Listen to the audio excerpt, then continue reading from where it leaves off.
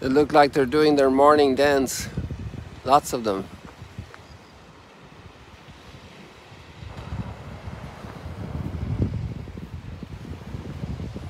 They're the bane of the fisherman. He's gobbling up the little fish. Cormorants. Sometimes there are so many that come like a carpet on the water. It's a little wilder this morning.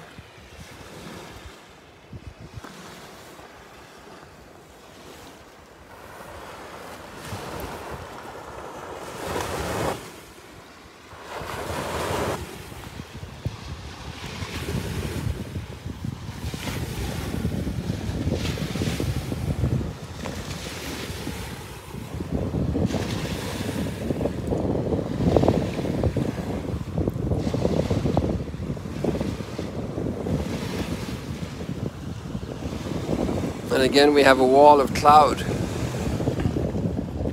About four or five minutes ago, there was an opening there, but I wasn't ready.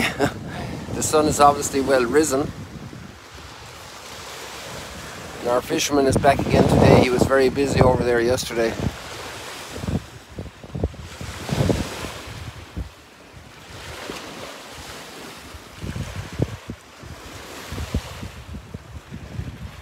Back again today, he must be having a catch. Good morning, John. Always there. Mount Beatitudes.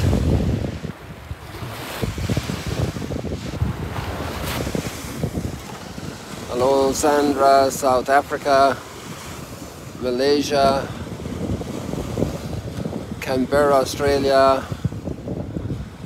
Dulce, that must be Mexico.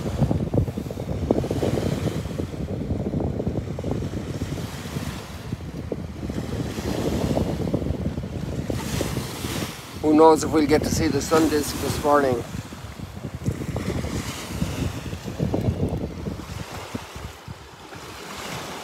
Why is it we can continue watching the waves for so long?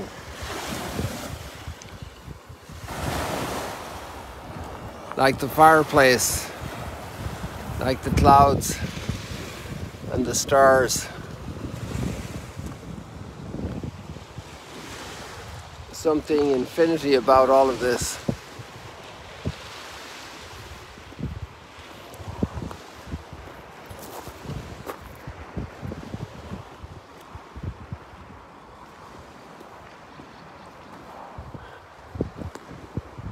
That's a Canadian flag, is it?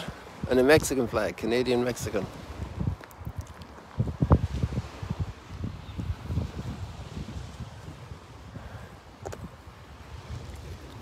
Today is about a big conflict. History of big conflict.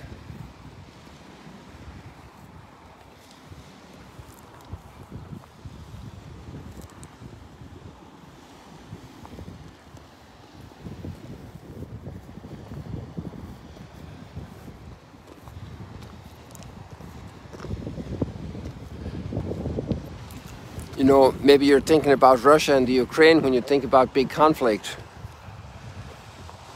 And then you think about all the social media about that.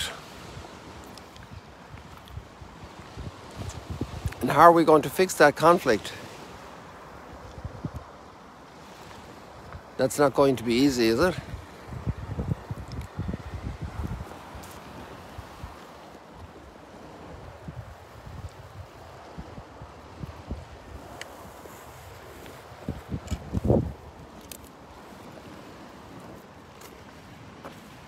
How are we going to climb these mountains? How are we going to cross these oceans?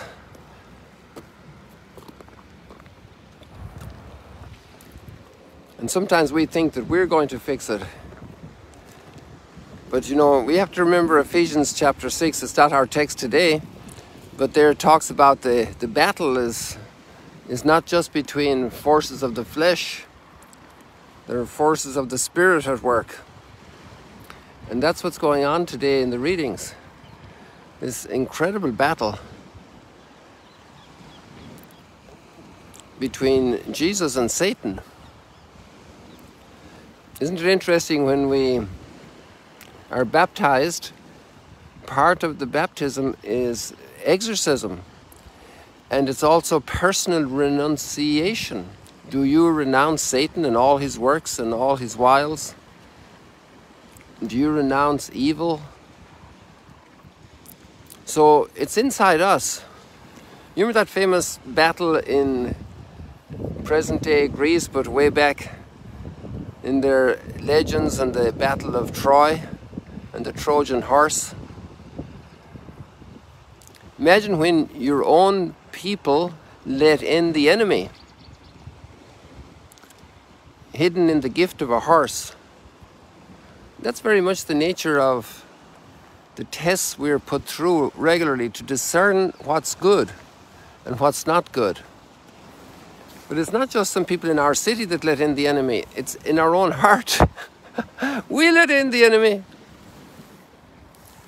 We give in to fear, we give in to pride and arrogance, we give in to cuddling ourselves up in our little nest and not worrying about those people in trouble out there. We're, we're, we're the ones that open the door for the Trojan horse. And then the Trojan horse is laden with damage to our own selves. So, you know, all of the different battles out there, all the conflicts, all of the sores in the world, all of the evils, sometimes we want to give a speech to fix them. And a speech doesn't fix them. And sometimes there can be a big negotiation. But deep down, they're not still fixed. How are the troubles fixed? You know, I think we're going to have a big surprise when we get to heaven it's going to become so clear to us that the really one, the only ones who really contributed were the saints, the ones who opened up their heart completely to grace, to the Spirit. Jesus was led by the Spirit into the desert. And we have to remember there are two meanings of the word temptation in scriptural use of that verb, that word. And one of them is like the way we see it, you know, you put out, let's say, a little piece of cheese in front of a cat, well, the cat can't resist going for it.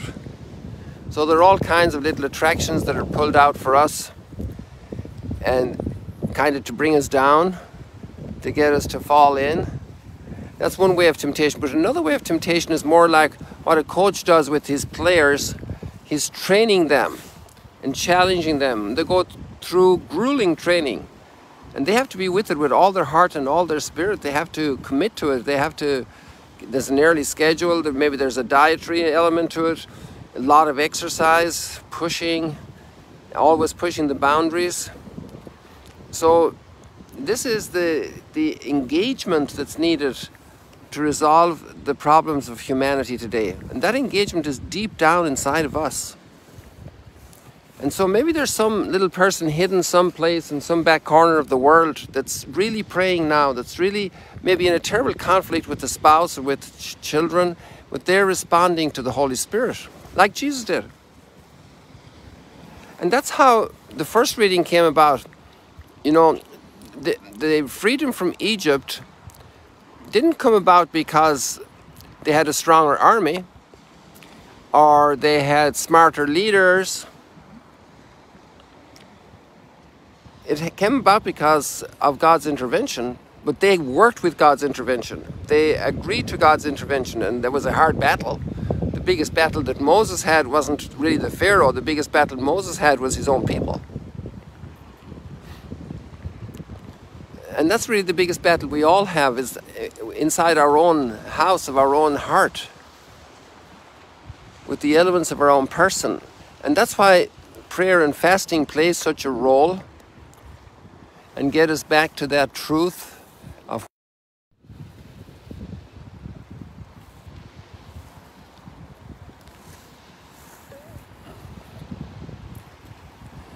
It's very easy to get angry with a social media post or a television program or biased ideologies.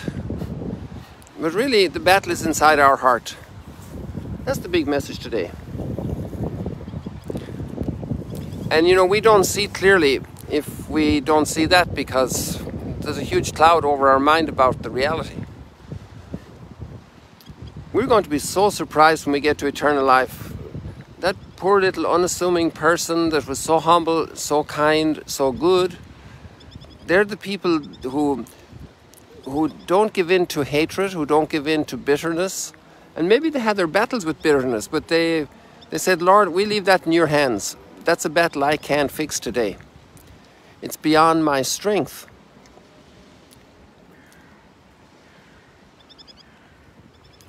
Oh, there comes a little bit of sunlight over there. Let's see if we can get in there. See that bright spot there? That has to be very close to where the sun disk is right now. Another reason for that is exactly where the boat is now, or just slightly north of where the boat is, is where we have the summer solstice, or the summer, yeah, it's called the summer solstice, right? The summer solstice, uh, no, sorry, sorry, sorry. The, um, the spring equinox, which will be in two weeks' time, so we're in the we're almost finished the darkest half of the year in the northern hemisphere. Wouldn't that be great if we were finished the darkest half of the year in our hearts? That our hearts would be open to that light, to that sunlight coming through from the Holy Spirit, leading us into the desert, into self renunciation, to fix the world. if we really wanted to be balanced, what we would do when we read a bad article in the newspaper, a bad report in the media, we get bad news about anything, that we would use the same amount of time that we dedicated to absorbing and processing that bad news to praying, to doing something good in our own family, to allow God's grace to work because people love humility. People love people who are humble. People love people who are kind, who are forgiving. And that's a hard battle for us sometimes. That's where our big battles are. And if we're transformed there and we resist the temptation to arrogance, to selfishness, I'm going to walk over here more to the waves. I want you to see these waves. They're wild today.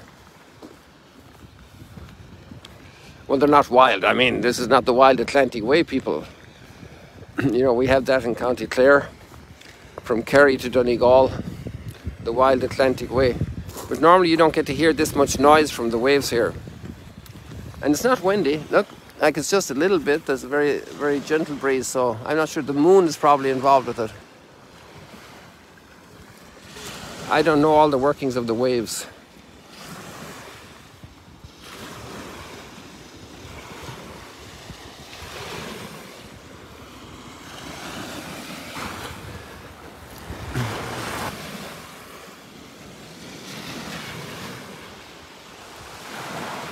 And have you ever noticed when we're sad, it's typically because we have given in to discouragement, we have become angry with somebody, we have been unkind, and our deepest sadness is really there.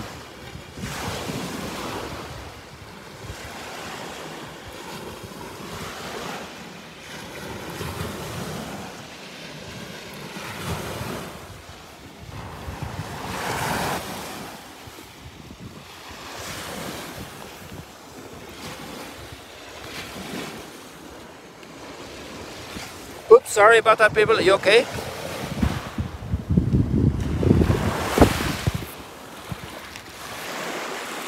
Sorry, sorry, sorry, sorry, sorry.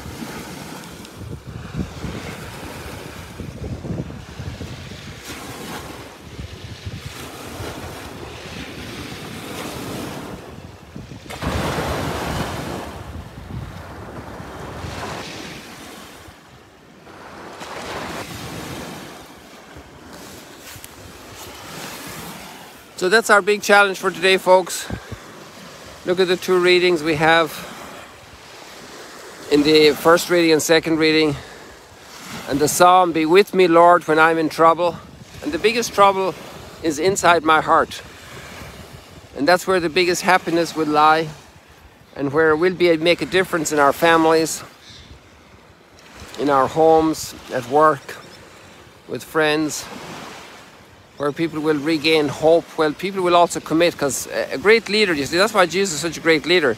He goes out into the battle. He doesn't give us just a speech.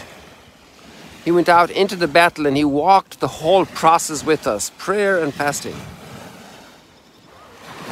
You got to take your hat off before Jesus and say, Wow, this is real leadership.